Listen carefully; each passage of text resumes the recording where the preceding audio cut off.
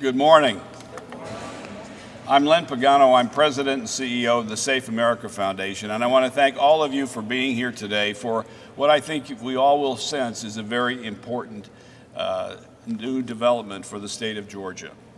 You know, we all know it takes transportation to get anywhere, whether we're trying to go to work, whether we're trying to have some fun, go to church, or to get to a hospital or medical center. And that's the issue that we're here to talk about today the importance of transportation and the growing number of Georgians who have no way to get to a physician. Safe America has been working with a number of state leaders on this issue. It is an emerging and important issue, and one that we've been encouraged to work on because people here in Georgia, thousands of people, need help getting to doctors or to hospitals. Whether it's getting to the VA hospital or a major hospital such as Grady Hospital or WellStar's Atlanta Medical Center, there are thousands of people who are finding it hard to get to a physician. And who are the three groups that we're focused on? Veterans, veterans who have PTSD, opioid crisis victims, and young women who've been victims here in Georgia of human trafficking. I want to talk a little bit about how many numbers of people are involved in these three segments. And we'll start with the women who are involved in human trafficking. Annually, the National Human Trafficking Resource Center says that Georgia has roughly 446 calls, with 103 of those being classified as high risk calls, women that need to be rescued.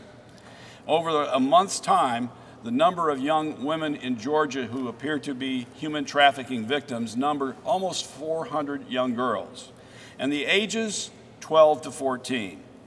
What's also very deplorable is that Georgia has the highest number of trafficked Hispanic females in the nation. On average, 100 Hispanic girls are exploited every night here in Georgia. When you hear about this, you would say that's enough of a worry. But now let me tell you about veterans. Georgia has one of the highest number of veterans in the nation, one of the highest totals of homeless veterans. Think of this. Female veterans are growing to be one of the fastest segments of the state's homeless population. And there are 1,500 veterans that have been quantified to be homeless, but frankly, there are many others that we don't know about who are out there in places like the woods. I saw this firsthand back in February when I saw up in Cartersville veterans sleeping in the woods in a tent. And several of them had no shoes, and one of them lost all of his toes because of that. So when you think about veterans who served our country, and now you think about are we serving them? Many of them have no way to get to the VA hospital. In fact, the VA hospital has asked Safe America for help to transport veterans to get to the hospital. Now, how about the opiate crisis? Did you know that Georgia is the 11th highest state with opiate victims? The number of overdoses is at an incredible rate. Well, that's understandable when you think about the number of doses that are actually being prescribed 541 million doses here in Georgia. That's enough for an individual, every man, woman, or child, to have 54 doses of opiates. So there's no question we have a really significant problem with opiate crisis in Georgia. And this also has an impact on getting to and from hospitals because many people are afraid to acknowledge their opiate crisis problem. And if they're with someone else and they're on an overdose, the other person may be afraid that he or she will be arrested by law enforcement. So they tend to be fearful of telling law enforcement or calling 911. These are the three populations that we've been studying for about a year and recognizing that getting them health care is a very significant problem. Transportation is a gap for another reason, and it's financial. If you don't have health insurance, you could end up having to uh, pay something in the range of $400 to $1,200 for transportation in an ambulance. So there's no question this is a major problem financially as well as physically and mentally. That is why the Safe America Foundation began to look at what we could do here in Georgia as a national prototype to be able to offer people transportation if they have a need to get to a hospital and not have to worry about paying the usual fare or paying any fare. We're looking to grow a national fund we call the World Safe Relief Fund that will provide dollars so that we can keep the cost down to less than $100 per person. And when you talk about this, we have already given it a name, Humans Care. And what I'm really excited about is this program, Humans Care, will show that we all care about humans. And one of the groups that has shown the greatest interest already is an ambulance company that is operating all throughout metro Atlanta and has a great interest in helping do something that is innovative. It's my pleasure to introduce to you now the Regional Director for AMR here in Georgia, Terrence Romitar. Terrence?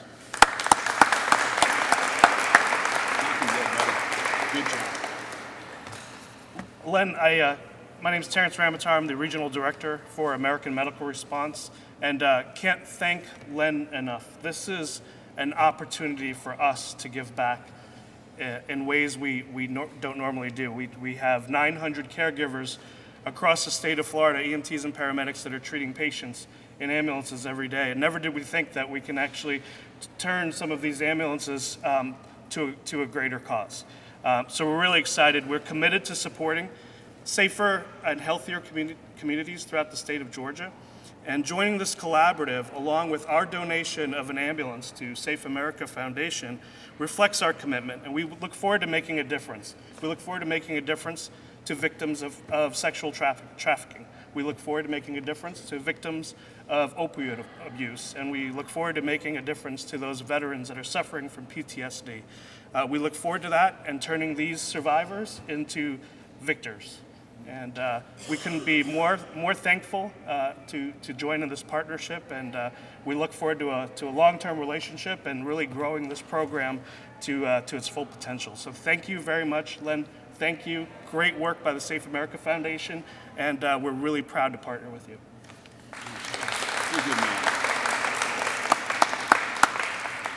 You know, this is a major uh, innovation and I think a major coup for the state of Georgia to see AMR make this kind of offer. And what goes in deeper is the fact that AMR's other executives here in the Atlanta area are looking to involve their own employees as volunteers. It's quite compelling to tell you about that. And also to acknowledge different people that are here today. I'm going to introduce Dick Smith from the Attorney General's office, Robert Quigley from the Cobb County Sheriff's office, but I'm also pleased to introduce to you several of the top executives here in Atlanta that deal with health care. And the first person who I'm proud to introduce to you is a woman who's been very committed to this and other issues that Safe America has been working on because she is not only a Safe America board member, she's the chairperson of Safe America. She also is the president of WellStar's Atlanta Medical Center. It's my pleasure to introduce to you now Kim Ryan. Kim?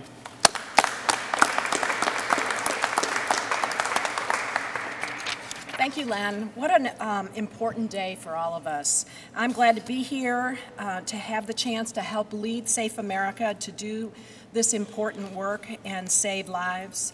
Uh, the means of doing this, uh, transporting veterans with, with post-traumatic stress disorder, opioid victims needing medical treatment, and helping rescue young teens from human trafficking is so important. We all know that getting around Atlanta uh, these days is tough, especially for those that have no transportation and have medical issues. So having this donation today from AMR is a very significant step uh, towards helping deal with these important issues that are really beneath the surface. Um, but they're very real. Thank you so much for that. We are pleased um, to work with Safe America. Uh, Atlanta Medical Center's role and other medical centers um, is to provide that much needed medical treatment. To have Safe America base its program at our facility is something we are very proud of. Safe America has, has used an office in Atlanta Medical Center to help veterans for many years. And now it will also assist those with opioid or human trafficking issues. As chairperson of um, uh, Safe America's Board of Directors, I will seek to involve other medical organizations and help bring this issue and our solution to greater awareness. I want to thank all of you from AMR uh, for your assistance and know that Safe America is committed to you and will work hard to help use this vehicle to save lives. Thank you so much.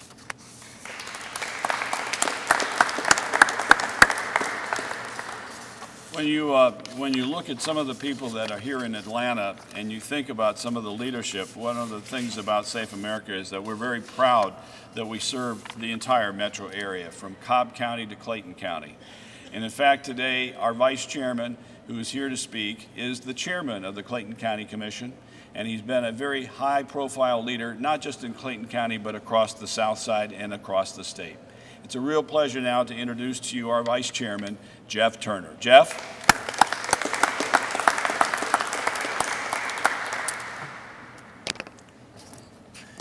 All right, good morning. So, as chairman of Clayton County and a former chief of police, I can tell you firsthand how serious the problem of opioid abuse as well as human trafficking is, especially here in the metro Atlanta area. So that's why I am absolutely proud of the fact that I am the vice chairman for Safe America Foundation because this organization does not only discuss those emerging issues, but they seek out ways to help, to resolve, to help out the community, to do whatever they have to do to make a difference in the lives of the people in this area. And I'm thankful for that. And one of the ways that we accomplish that is through partnerships, through partners such as AMR.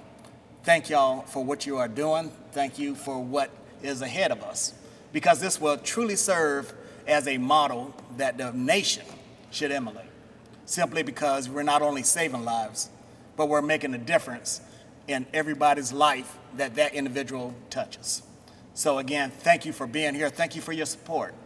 And just know that Safe America Foundation, if you don't know about it, Google it. Find out about it. Find out ways that you can become involved with us because it's about changing people's lives. Thank you.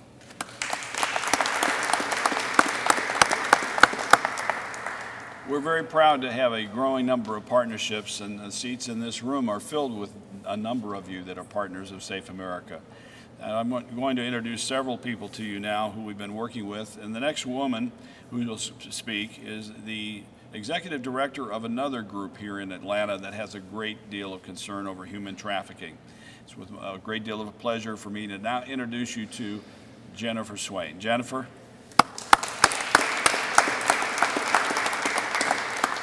Good morning. Thank you all so much for being here. Thank you to Lynn and to Safe America Foundation, the board of directors, for having youthSpark as a partner. We've been working together for a couple of months now, and we have been fast at work. Um, we're really proud to be a part of this new Humans Care initiative because youthSpark was born almost uh, 18 years ago when former juvenile court judge Nina Hickson presided over cases of young girls coming through Fulton County Juvenile Court just a few short years ago in early 2000 and they were charged with prostitution and they were actually locked up and treated as criminals. Georgia's movement has grown so uh, much over so many years, and now Georgia has one of the strongest responses to young people involved in commercial sexual exploitation in the nation, and we're very, very proud of that. Um, we have members of our statewide human trafficking task force here as well, um, where they really try to galvanize and make sure that not only are we working and serving those who are on the grounds rescuing youth, and we really can't thank our law enforcement enough for the work that you guys have done to protect all of our kids and our young people. Um, but one of the things that we have to do, and I'm so appreciative to AMR for what you guys have done, because this is about showing the private sector, the corporate community, how you can jo join uh, Georgia's fight. There's a seat at the table for everybody. When you hear about these issues and of veterans and, and, and human trafficking victims and those in the opioid crisis, we all get excited and we want to roll up our sleeves and we want to help.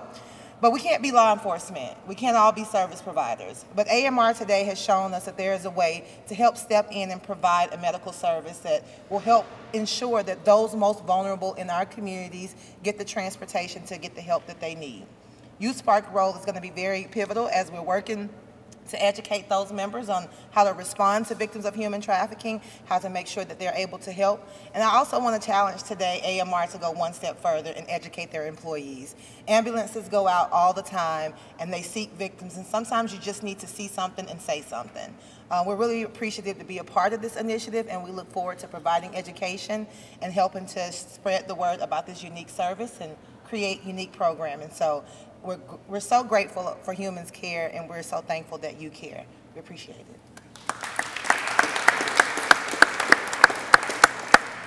I'm very delighted to have so many of you here today in support. And the next gentleman I want to introduce to you has a major role with the Fulton DeKalb Hospital Authority.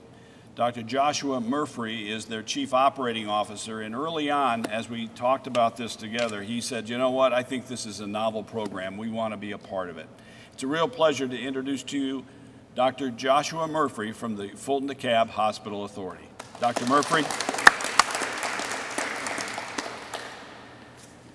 The great Dr. Martin Luther King once made the statement that hatred cannot drive out hatred, only love can do that. Darkness cannot drive out darkness, only light can do that. When I met Len Pagano, I could look into his eyes and I could see a visionary person, a person who wanted to make a difference. So I did exactly what the representative and what the chairman said. Google him, see what's happening. Safe America, Len has been there with that over 24 years. He's been cradling babies in baby seats. Now he's talking transportation. Now he's on the issue of opioids. Now he's on the issue of human trafficking. And yes, where should the Fulton DeKalb Hospital Authority be? As proud owners of a Grady Health System with 1,222 physicians, 859 nurses, 959 beds, and yes, we adding another 100 beds to our emergency room just for situations like this. And we want to be partners with such great efforts, innovative, creative, where we should be as a nation of people. Now, I must say to you, when you leave here today to make something like this move, I know you have a friend and you have a partner seated next to you somewhere.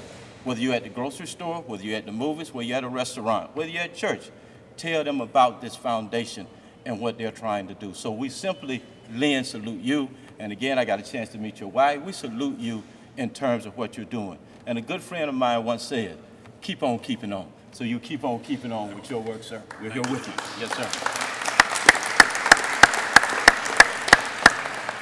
You know, uh, as I mentioned, we have a lot of people here today. Not everyone will get to speak, but I'm proud to introduce to you now a legislator who has a real compassion for doing serious good.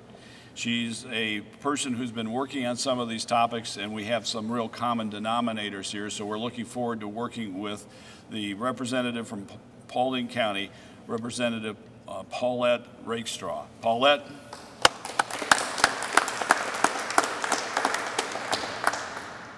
Thank you and good morning. Um, I'm excited to see Safe America taking this on. This is such a huge issue in our state and in our nation, and, and to see Georgia leading in this. Um, and I appreciate AMR with the ambulance because two of the things that I have worked on is the Human Trafficking Prevention Act, and I have a study committee to work on pre-arrest diversion programs, and one of the issues that we need to solve is being able to transport people to treatment and we're working on you know studying things like how can we streamline and break down barriers to treatment help people get into treatment because this is such a chronic need with mental health and addiction and we have to start solving problems with um, all of the issues stemming from human trafficking and then the mental health and addiction pieces so that we can start you know healing the the the problems that we've had related to these issues because it's driving homelessness. It is um, you know it, it's causing a myriad of problems, you know, just in families and, and in communities. And so to help prevent, um, you know, suicides and, and school shootings, we have to start treating the mentally ill and the people with addiction issues and, and the crime that it drives. So I'm excited to, to partner with Safe America and all the, we appreciate all the affiliates and partners that are working with us on this. And I look forward to working with y'all and as we do the, the study committee on pre-arrest diversion programs to look at how we can transport, how we can break down barriers to treatment, and how we can get enough treatment resources to help these victims of human trafficking and people with mental health and addiction issues to make our society a safer place. And um, I appreciate y'all giving me this opportunity and um, look forward to continuing work on this issue. So thank you. I just want to add, uh, we're lucky, Paulette, to have your leadership here in the, in the state legislature, and we look forward to working with you throughout the next year. Well, we have some other people, and I do want to acknowledge, I mentioned uh, both uh, Nick Smith from the Attorney General and from the Cobb Sheriff's Office, Robert Quigley. And if the two of you don't mind, just stand up here. Come on up here because I think it's important for people to see that this is metro-wide very important, statewide very important, and to just see law enforcement and the Attorney General's office here to support it. So I'm going to let both of you say a few things uh, extemporaneously. Nick, you want to come up?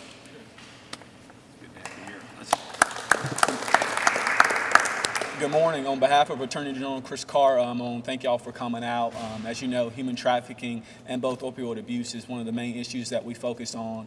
Last October, we launched our statewide opioid task force, and since then, many things are in great works. And it, you know, again, you've heard it time and time here. It's partnerships and collaboration with the public sector, the private sector, and nonprofits to get things going. And that's exactly what we're seeing come to fruition through this foundation. And we just want to say thank you and to the members of the Georgia General Assembly. Thank you for all the things that you're doing. And law enforcement, we can't thank you enough. Um, and that's That's good. Hear it. That was nice job. You're good. Just briefly, on behalf of uh, law enforcement, we certainly recognize the importance of having partnerships throughout the community. These problems don't stop at city limits or county lines. They grow across the state and across this country. So we're just proud, on behalf of law enforcement, to be a part of this partnership and hopefully find a solution to this problem that plagues our communities. Thanks. Robert, please give the best to the sheriff. And when you know, as we're looking forward to working in Cobb County, uh, we will look forward to working with both of you.